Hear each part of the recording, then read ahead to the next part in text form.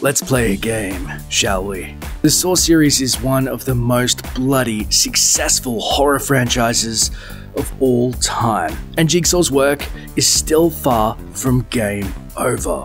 Saw Legacy will splatter 2017 with some all new trap happy death dealing.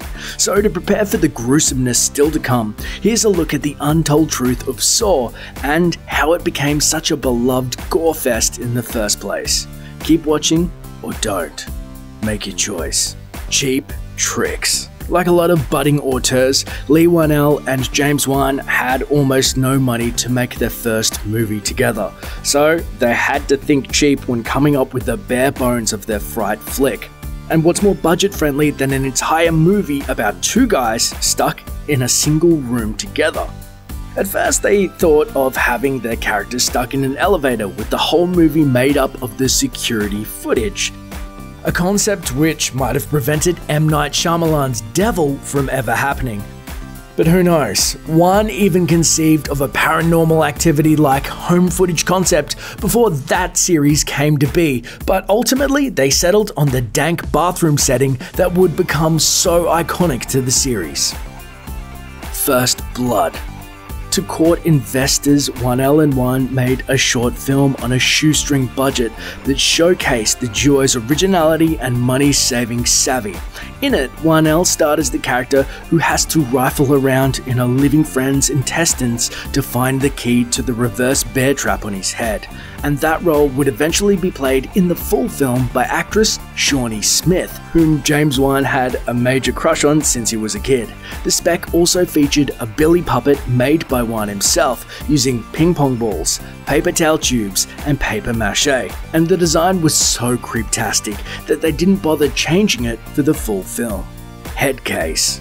The idea for John Jigsaw Kramer, the mastermind behind most of the series' sinister games, stemmed from a surprising source Whannell's own cranial treatment. The writer had been experiencing migraines, and when he went through some testing, he imagined what it would be like to get the bad news of his own impending expiration date and how someone might react. He might not have had a medical issue, but his mind was definitely twisted.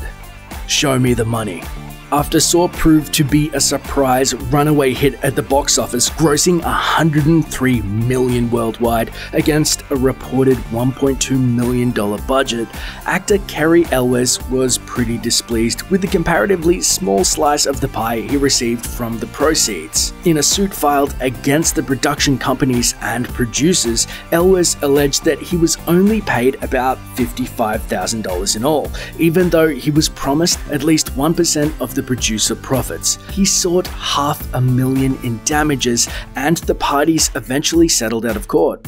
The acrimony must not have lasted long because Elwes came back to the franchise to reprise his Dr. Gordon role a few films later. Congratulations, Dr. Gordon. You survived. Desperate for the sequel, Given the massive success of the first movie, Lionsgate was in a rush to get Saw 2 moving right away, and the producers thought outside of the bathroom box for the second installment. Up and comer Darren Lynn Bousman had already written a screenplay for his own film called The Desperate, but it was criticized for being too similar to Saw, so, producers saw an opportunity to tinker with Bousman's flick and transform it into a follow up for their own. His foray into the Saw series was so successful that he remained on board as a director of the third and fourth films as well. Sticking point. Although nearly all of the traps in the Saw series were complicated, none could be more labour intensive than the needle pit scene from Saw 2.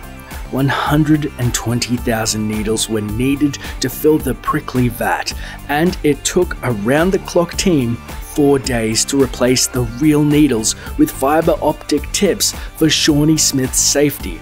After all that prep, making the site poke free, a crew member accidentally knocked a pile of real needles back into the heap. So they had to halt production before it could even begin to locate them. Director Bousman later joked on Reddit that it was like finding a needle in a needle stack. Good one. Good blood. As a nod to all the on screen bloodshed in the first two Saw films. Saw 3's theatrical promotion included a poster made using a real vial of actor Tobin Bell's blood, mixed with red ink to create the most visually jarring shade for his cloak in the image. Lionsgate printed 1,000 copies of the design and auctioned it off to benefit the Red Cross, in addition to hosting a series of blood drives organised by the studio that raised thousands of pints for the organisation. Toilet humour. There's very little levity to be seen on screen in the Saw series, but behind the scenes, the cast and crew found ways to keep the mood light. One running gag during the production was the use of a hidden fart machine that was set up during particularly difficult scenes just to mess with the actors.